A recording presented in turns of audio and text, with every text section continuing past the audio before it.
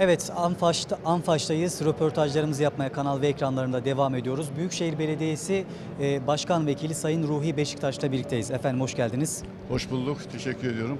E, programın yayının e, daha doğrusu açılışın başında söylediğiniz gibi Antalya Büyükşehir Belediye Başkanı Sayın Menderes Sürel yurt dışında olduğu için fuara katılamadı. Evet. Siz temsilen bugün buradasınız. Bir açılış konuşması Evet. yaptınız ve fuarı gezdiniz, standları ziyaret ettiniz.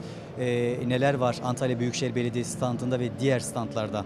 Artık hepinizin bildiği gibi tüm şehirler, insan yaşamı teknolojiye doğru gidiyor.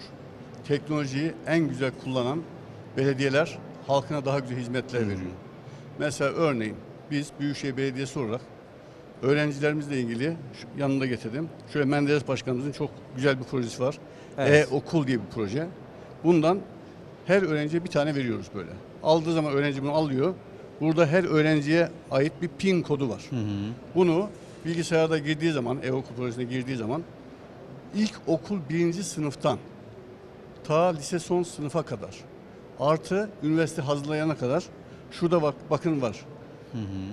Burada test, test adetleri falan var. Mesela ilk, be- 4500'den başlıyor. Konu adetleri falan. Buna çalıştığı zaman hiçbir dershaneye gitmesine gerek kalmadan çok güzel bir şekilde kendini üniversiteye hazırlıyor.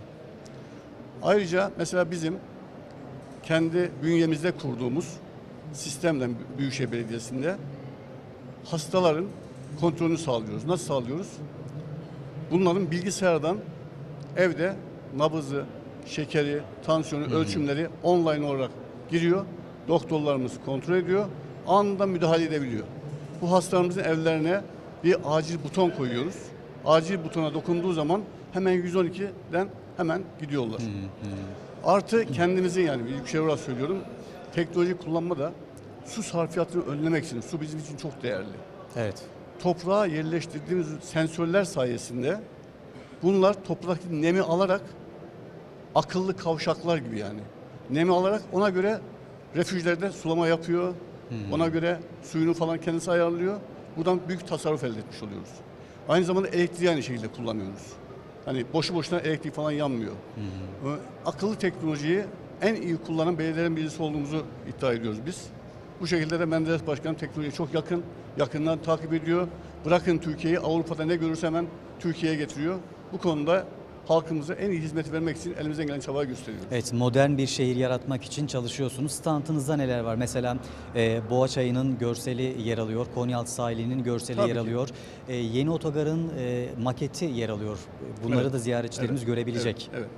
Şimdi bildiğiniz gibi e, biz e, vizyon projelerimiz var.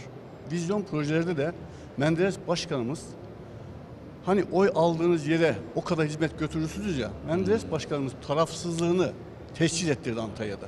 Nasıl tescil ettirdi? En az oy aldığı ilçeden bir tanesine devasa yatırımlar yapmaya başladı. Oya göre değil. Hizmeti biz oya göre yapmıyoruz. Çünkü başkanımız seçilmiştir. Rozetini kapıda bırakmıştır. Artık tarafsız bir başkandır. Konya altında Boğaçay projesi yapıyoruz. Dünyalar e, değecek bir proje olacak göreceksiniz. Bir, iki, üç, dördüncü etaplar halinde yani. Sırf sadece orada bir görüntü olarak falan değil. Orada film platoları yapıyoruz. Orada hayvanlar için safari alanları falan yapacağız. Yani e, Hollywood'daki film stüdyolarını Allah nasip ederse getireceğiz. Tamam mı? Görseli korkunç güzel olacak. Konyaaltı sahilini yapıyoruz. Haziran'a yetiştireceğiz. Bunun buradan tüm halkımıza sözünü de veriyoruz. Bazıları bunu e, nötr hale getirmek için yok efendim niye efendim orada setler çekildi? Ya hizmet biraz sabır gerektiriyor. Yani orada çünkü açarsak insanlar orada gittiği zaman bir tane orada iş- insan ölürse başına bir şey gelirse sorumluluğu bize ait. Onun için halkımızdan rica ediyoruz. Bizi ne olur bir iki üç ay daha sabretsinler. 1 Haziran'da göreceksiniz Konyaaltı sahili Avrupa'daki Miami'deki sahillerden daha güzel. İnsanların hayvanlarını rahatlıkla gezdirdiği, insanların bisiklete rahatlıkla bindiği, insanların rahatlıkla yürüyüş yaptığı, çocuklarıyla böyle kırlarda koşarcasına oynadığı ve denizine çok rahat girdiği biri olacak. Bir de yanlış bir algılama var orada. Onu da belirtmek istiyorum buradan sizin vasıtanızdan. Konyaaltı plajları paralı olacak diyorlar. Evet. Hayır. Menderes Başkanımızın sözüdür bu. Biz hepimiz onun arkasındayız. Yüzde onu ancak paralı olacak. Yüzde doksanı halkımızın hizmetinde olacak. Aldınız havlunuzu getirdiniz. İstediğiniz yerden havlunuzu sereceksiniz. Denize gireceksiniz. Bunda taahhütte bulunuyoruz.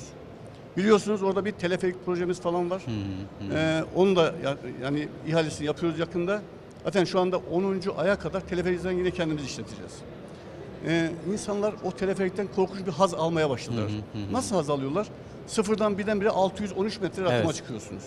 Manzara çok korkunç. Bir taraftan kemer sahillerini izlerken bir taraftan Yarbaç Çandır tarafına bakıyorsunuz. Bir taraftan da Antalya şehrini izliyorsunuz.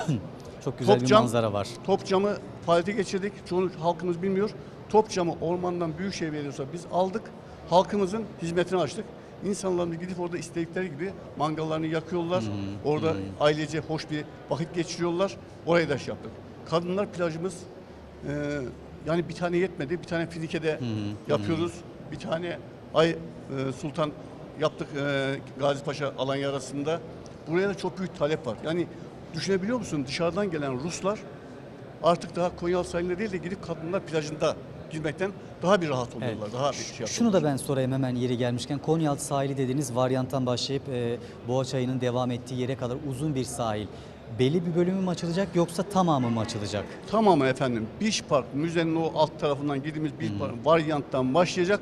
Boğa Çayı Köprüsü'nün tam oraya kadar olan yer Sahil tamamen bölümü açılacak. Tamamen yani Haziran, Haziran'a yaz kadar sezonuna açılmış olacak. Hatta belki Beach Park tarafını belki biraz daha önce açabiliriz.